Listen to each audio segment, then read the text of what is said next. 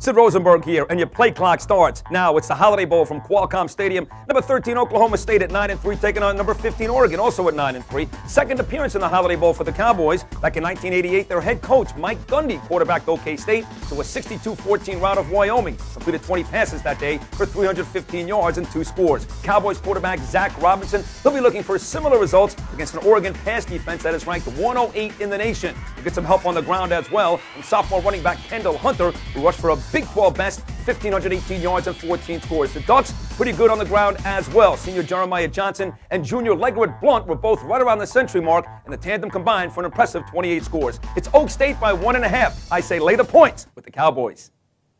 Think you can complete the drive? Play today and get an automatic entry to win daily prizes, two tickets to the big game, and a brand new car. Start your drive today at opensports.com.